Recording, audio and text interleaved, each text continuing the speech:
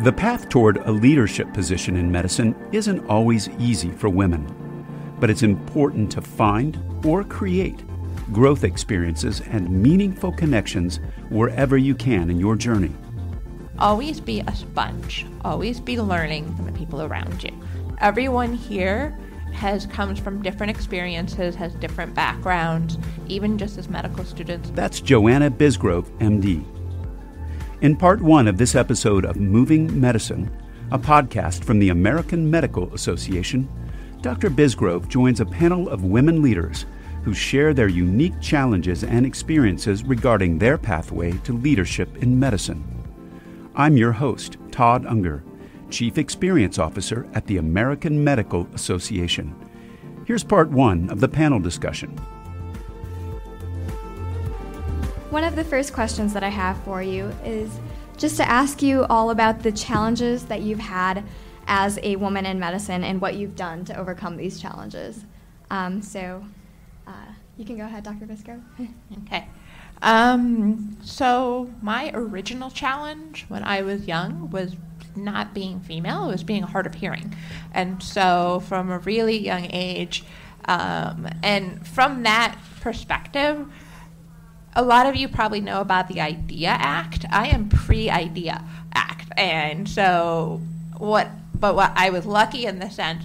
Uh, my father is he is a professor emeritus and retired attending at Rush Medical College, and my mother was a lawyer. So I had two very educated uh, parents, and the, and I also had um, kind of a sort of a women in leaders a, a women empowerment role in my family. So my mother was a lawyer, like I said. She was one of three women in her law school class at Northwestern. And then even more important as far as my heritage, my grandmother was one of three women in her pharmacy school class here in Chicago. And this was like the her picture. She passed away not that long ago, about six years ago, uh, at the age of 99. But her picture was from the 1920s or 30s. And yeah, there were three women in that pharmacy school class. And so that was what I grew up with in terms of leadership role. And so for me, the, the, the women part was always a little more clear cut. But having to advocate for my needs as a hard of hearing individual is always really challenging. And having my parents help me through that um, and building those advocacy skills young kind of helped power me through um, med school when I started running into some of the, the gender biases. Um, I started as an engineer, engineering major in undergrad at Cornell and they all kind of looked at like everyone in the every guy in the classroom knew where they all knew where the, where the women sat, and that was really annoying. Because like every like oh yeah you sit in this seat. And I'm like what? Um because there were so few of us and we would get comments about yeah being the cute engineers and like really inappropriate stuff. Um and and so on and so forth through medical school. So it's just like having the hearing stuff, that kind of helped me overcome the challenges from the women's standpoint because I kind of already had it built in, um, and kind of powered me from from there. Um, but learning those skills early on really helped, at least for me. Yeah, thank you. Um, so, actually, being a woman, when I was in medical school, we had about a quarter of our class were women, so it wasn't quite being as much of a pioneer. And we actually had a great relationship with other women who were mentors uh, who were practicing physicians. So that was that was very helpful for us. Um, so we had role models in that because actually, going back to some role model issues like Joanna was saying, from a woman in medicine perspective, there really that was very rare. I mean, the only person that I knew who was a woman in medicine was the physician who took care of us uh, as a school physical. That was it. You know, that person, um, and she was a really lovely person, but she wasn't someone necessarily that you could look to as a um, you know a model, role model for that role. Um, but on the other hand, talking about some other women, my mother was um, she actually got her EDD. I mean, that was very early when women weren't necessarily going for doctoral degrees. So she actually went to, you know, all through the you know undergraduate and then the master's in education and then subsequently the doctoral degree so she was always a strong woman and and kind of inculcated in me that you could do what you wanted to be able to do as long as you worked hard for it um, but you had to do it in a way that um, engage other people in the conversation, not overbearing, but simply being part of the conversation, making sure that kind of you were at the table when discussions took place. Um, other other challenges were actually kind of a little bit even later in the career, where, for example, I was married, I still am, fortunately, but I mean, at the time, that was a situation where the person making up the schedule for the emergency department said, Oh, well, I said, Where are my shifts? I thought I should get this number. Oh, well, you don't really need that number because you're, you're a spouse. So I'm like, mm, Yes, I do. And we made sure that it happened, but you had to speak up, otherwise, it wouldn't go forward. I was actually in the very first class of the Medical College of Ohio uh, at Toledo in the Sky. That was the name of it then.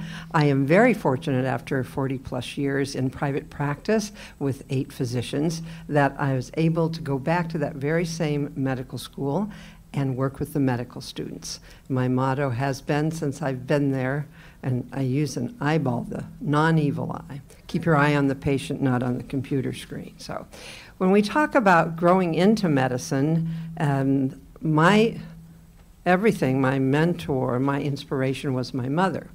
My mother, though, was a nurse.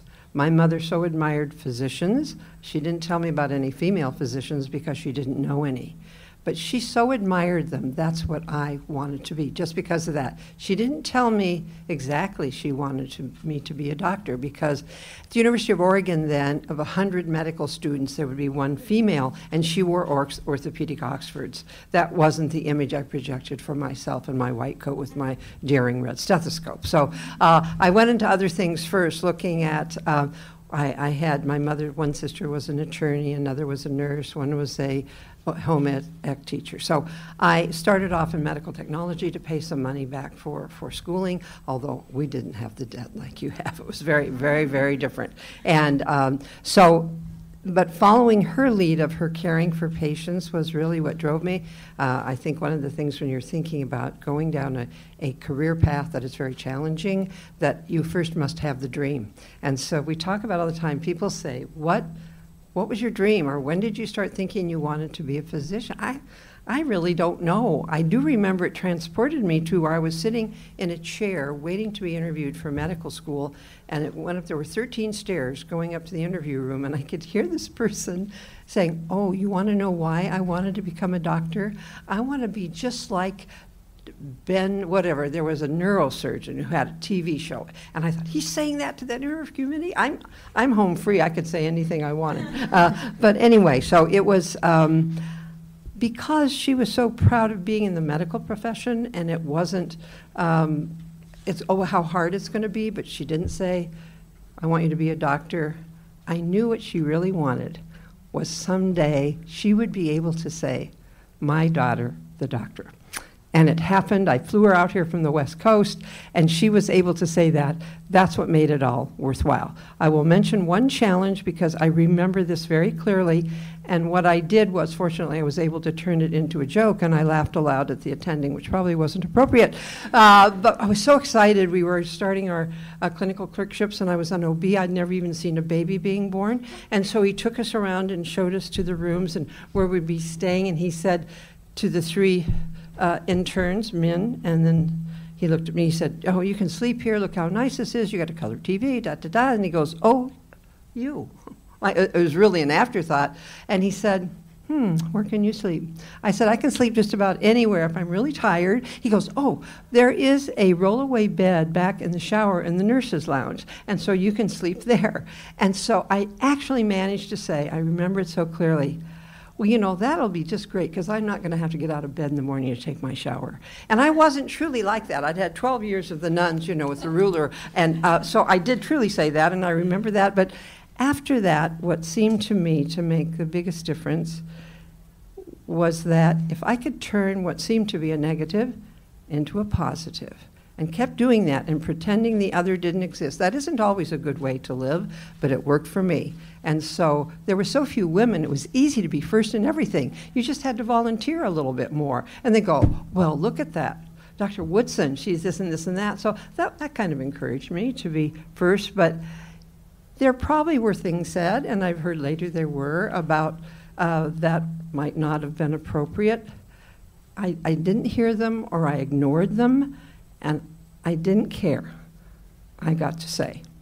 Uh, my mother got to say, my daughter, the doctor. That was enough for me. Things have changed now, and I know as we've moved up higher and higher uh, in uh, medical society that you have many more challenges. So I hope some of the other things we have to say uh, will help you. Mainly, I found that if you just set your sights on being the best you could be, the best you could be, whether male or female, eventually they're going to have to accept us, right? We still have a little work to do, but I, I, I think that philosophy works. You took care of the nation. It's time for the nation to take care of you. The AMA stood by America's physicians and patients during the pandemic, and we're not stopping there. We're fixing prior authorization, leading the charge on Medicare payment reform, supporting telehealth, fighting scope creep, and reducing physician burnout. It's time to rebuild, and the AMA is ready. To learn more about the AMA Recovery Plan for America's Physicians, go to ama-assn.org slash time to rebuild. So uh, that kind of actually brings us to our next question. Um, what are some ways that women can be leaders in their specialties? So, um, Dr. Heine, do you want to take this one first? Sure. So, in terms of what, like Donna had said, in terms of being the best you can be and, and speaking up when you're interested, I mean, there are different avenues. So, for example, um, in the Specialty Society or in the State Medical Society or in the AMA, there are always opportunities. And if you speak up and express interest and show that you're really willing and interested to work and to be a real good contributor, then you will be asked to continue to do different things. So it's really important to have your message, to show your enthusiasm, and to connect with others to show that you're genuinely interested in actually having a part in part in the play, having a part in what goes on. Um, I think that there, if you look around, you can always see that there are opportunities. If you have a passion, if there's a particular issue that you want to, on which you want to advocate, there's almost always going to be an opportunity, whether it be a resolution, whether it be a committee or any other work group. You're going to find that because your antenna will be up and you'll be able to really fit in and make that truly a dedicated input on your part, and that will shine. That will help you both as an individual in terms of your growth, your connections with others, and relationships that you form, as well as just being able to say that you know you have made that contribution. It'll make you feel more more worthy in terms of just the contribution is really helpful, but we all grow as individuals and we learn from each other. And other people will look at you and say, hmm, that's, this is really great what you're doing, and they will want to emulate you. So you'll be in that situation where people will look at you as a role model, and that will inspire others. When I look at so many of you involved in organized medicine, and I try to say to those, there aren't very many students at the University of Toledo College of Medicine who aren't members of the AMA. And so what I say to those who aren't or who, who don't have the time or have other things they're interested in, Find something else that is your passion uh, and invest yourself in that. But always, especially when you get out into practice, but you need to start in medical school, stay involved in organized medicine. As more and more physicians become employed, and I, want, I wish I could take away some of that fear of not feeling that you had to have a mean uncle taking care of you, telling you how long you had with the patient, telling you how long you could go on vacation. If you could find the way to help others and yourself. Uh, some friendly banker who's going to loan you money and you're going into practice together and have some independence.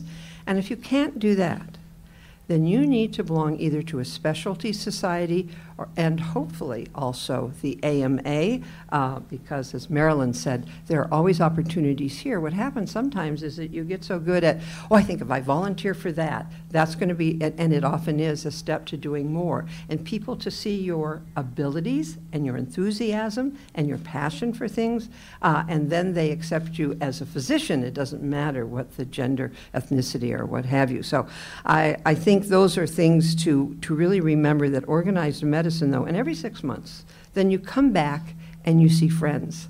They're not just regular friends like you grew up with in the neighborhood. These are friends who share similar passions. In the profession that is like none other, what other profession do you know that allows you to be in someone's personal space like you have? to share with you and maybe none others what their hopes and dreams are and get to know uh, what makes them tick and follow them along uh, with the continuity of caring. There's no career like it, and that's why when you come to other things, perseverance, I, I would say uh, you have the dream, and then you have to persevere. And perseverance is doing something that may be difficult, uh, but you're going to continue to do it uh, until you reach that goal, no matter how long it takes. I think that there's so much. Um, importance put on testing these days, I think they're stealing away some good years of your lives. But when I see you here, when I see you here among your friends with the laughter and the sense of accomplishment, when you present a resolution that may change the policy of American medicine, and I'm looking at one right now, uh, making the steps up the ladder, that excitement, what could be like it? So, but you can't make it all worry and doom and gloom. Worry, spending the time, steals your time, it steals your enthusiasm, and it saps your energy to do the studying you have to do, but have some fun that you must have. Everyone here in this room has already fulfilled the first rule of leadership show up. That is huge. You can't be involved in leadership if you're not there. Um, if you're at the table, if you're not at the table, you're on the menu. Those are basics. You guys have learned that. Good job. You're on your way. Your leaders are ready. Um, second thing, I always I've started to tell people on a regular basis, at least what I've learned. Always be a sponge. Always be learning from the people around you. Everyone here has comes from different experiences, has different backgrounds. Even just as medical students, also learn from people who have been in the house for a long time, people who have been in practice, physicians, residents, anyone around you, because it's amazing what you can learn. And amazing not just about policy, but about interact, human interaction and about strategy. The third thing is also in that, in learning policy and learning resolution writing and learning how to testify and all of that. Also, learn what you're good at, um, because in in that you get further at, you want to work on things you're not great at, but in terms of furthering yourself, there's something you're naturally good at, then hone that skill. One of the things I like to do as both as having my undergrad degree be uh, being in engineering, and I'm pretty sure it's from coming from a large Jewish family. I like to connect things. I like to problem solve. I like to take, okay, we've got this, let's connect it to this and how that's helped me from a sort of political standpoint is more been in my own organization. It did mention up there I was on. I just came off the board of SSM Healthcare, a Catholic organization, an integrated delivery network, but Catholic organization. Um, last this past January, um, I was the only Jew on the board. I was the only non-Christian on the board. Period. But I frequently pointed out at different viewpoints. Um, I came off the board not entirely voluntarily, um, but but at the same time, our board is a little more it's, it's more formal than functional. The real power lays on the board subcommittee, particularly the Joint Finance Committee, which I'm still on, and um, in our organization, we have a lot of physician leadership, but majority of them are really involved in the organization. We only have a few that are on the outside uh, that do advocacy, and I've been completely saying we need more people in advocacy. But being one of the few people has had its advantages because I know what's going on here. I know what's going on in the, the public realm. And I've been able to say, hey, this is coming down the pike. Because I'm on joint finance because I know public policy, because I know what's going on in the government, and because I can help inform our strategy. And so I bring things, and without revealing anything, because I bring things in, there was a situation recently where I kept saying, This is coming. And they are like, Really? Yeah, no way. And then this big opportunity that we can, government opportunity that our organ, that our entire system, because SSM isn't just Wisconsin, it's multiple states. But this big opportunity that we could be involved with that I said was coming suddenly came, and they're like, oh my goodness. I'm on the phone with the president of our region, who's like our top dog. We're talking about this, and I said, this is why this is why we need to be involved. This is why we need more people. And he said to me, he said, That's some pretty big promises you're making there. And I just turned right back around and said, Well, I delivered, didn't I? I, I mean, building, like, honing those skills and building those connections, but really doing what you're good at leads me to my last thing. Always be willing to volunteer, not just for leadership, but for anything, for helping people build capital. Because you've got people trusting you, you've, you help people out, you never know when that's going to come back to help you. And that's important in organized medicine, that's going to be important in your organizations.